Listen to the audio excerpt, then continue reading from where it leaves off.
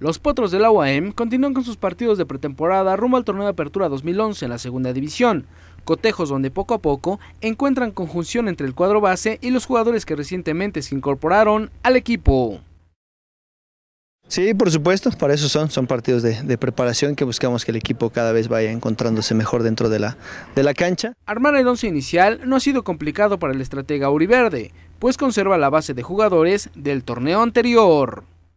La verdad que tenemos una buena base del, torneo anterior, entonces solo hemos hecho algunas incorporaciones, que bueno, esperemos que esas incorporaciones nos den ese plus de, de calidad que necesitamos para enfrentar este torneo.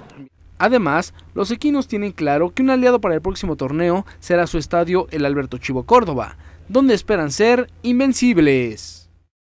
Creo que nuestra manera de, jugar en cuanto a la velocidad y la dinámica que mostramos, pues buscamos eso, que esta sea una cancha que le pese a, los rivales no solo por la altura, sino por la manera en que juega nuestro, nuestro equipo.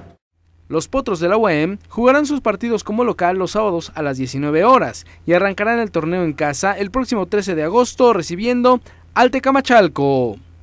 Camarógrafo Ricardo Cerda, Televisa Deportes, Estado de México, Jesús Quesada.